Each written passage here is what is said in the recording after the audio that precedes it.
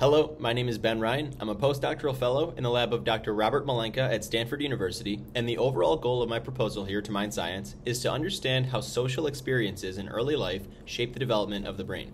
Early in childhood, you engage in some of the very first social encounters of your entire life. You go to preschool, you play on the playground, you make friends, and overall, through these experiences, you learn how to interact with others and you establish your own personality. It seems intuitive that this process might shape the brain, perhaps by strengthening the parts of the brain which control social functions. But we don't understand exactly how these interactions in early life contribute to brain development.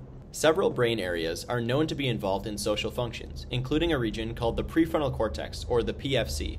The PFC is important for guiding our social behaviors because it helps with making complex decisions, suppressing inappropriate actions, and many other functions which are very much involved in our social exchanges. The prefrontal cortex is also unique in that it finishes developing much later than other brain areas and remains flexible during early life. This indicates that PFC development may be sensitive to the experiences we have in childhood. So let's talk about how the prefrontal cortex actually works. All brain cells have a method of communicating with one another. In between cells, there are junctions called synapses, where one cell can release a substance called a neurotransmitter, which then binds to a receptor on the next cell. You can think of this process like one brain cell sending a piece of mail to another cell, which then goes into a mailbox and sends a message for that cell to either activate or turn off. In the PFC, the most common neurotransmitter is called glutamate, and when it's sent from one cell to another cell, it tells the receiving cell to activate. The amazing thing about synapses is that when they're used repeatedly, they can become stronger like a muscle. When a synapse is activated over and over, it will strengthen, and the next time that glutamate is released, it will cause the receiving cell to become more activated than it had been before. This process is called long term potentiation, or LTP. So, these glutamate synapses in the PFC appear to be very important for social functions. In my previous research, I found that mice with genetic mutations that are associated with autism have weaker glutamate synapses in the PFC, and these mice actually spend less time engaging in social interactions with one another. But when we restored the function of those glutamate synapses, the mice became more social. Now, here's where things get really interesting.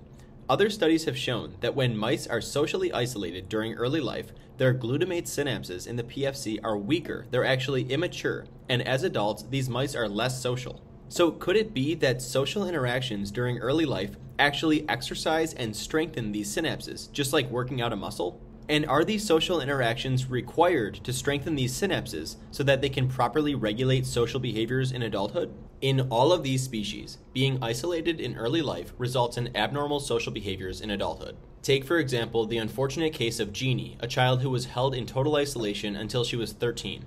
After her release, she had very poor social skills, with almost no facial expressions or body language and limited ability to express herself. This all seems to indicate that social experiences are not just important for strengthening these synapses, but that these changes may be important for the development of proper social functions. Our research goals are to test whether social experiences directly strengthen glutamate synapses in the PFC and whether these changes are required for the development of social functions. To answer this, we will first test in mice whether engaging in a social interaction directly strengthens glutamate synapses in the PFC. Mice are very social animals, which makes them a good model organism for studying this process. To measure the strength of these synapses, we will use a technique called electrophysiology. In electrophysiology, we look at the brain under a microscope and place a tiny electrode which measures electrical signals directly onto a brain cell. We can then stimulate the surrounding cells to cause them to release glutamate and measure how strong the response is in the cell that we're recording from. This allows us to directly measure the strength of the synapses on the cell that we've chosen. So, how do we know what cells to record from? We know that we want the cells that are involved in social functions, and there's actually a way that we can target them specifically. Here at Stanford, another lab has developed genetically modified mice which allow you to literally see what brain cells are activated during an experience because they light up bright red. Using this technology, we can place a mouse into a social interaction, and afterwards, all of the brain cells that were activated by that experience will turn fluorescent red. This process is called trapping the active neurons. What we plan to do is give the mice a series of social interactions and trap the active neurons. Then, using electrophysiology, we will measure the strength of the glutamate synapses only in the red cells. This will allow us to test our hypothesis that social experiences in early life directly strengthen glutamate synapses on brain cells in the PFC that control social functions. As scientists, we must consider all possibilities, and there is a chance that social encounters do strengthen these glutamate synapses, but that those changes are not critical for the development of social functions. In order to really know this, we need to test whether the strengthening of these synapses is absolutely necessary for the development of social functions. In order to do this, we will breed new mice that are like the trap mice but slightly different. Instead of the active neurons turning fluorescent red, those active neurons will lose a gene that is necessary for the strengthening of glutamate synapses.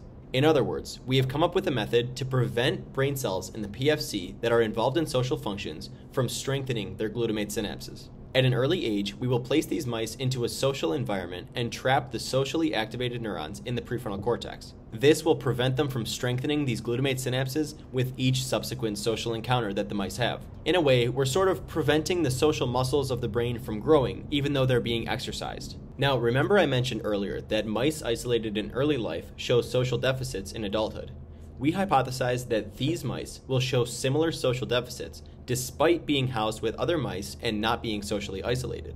They will have social experiences, but since the brain can't strengthen those glutamate synapses, they won't be able to properly develop social abilities.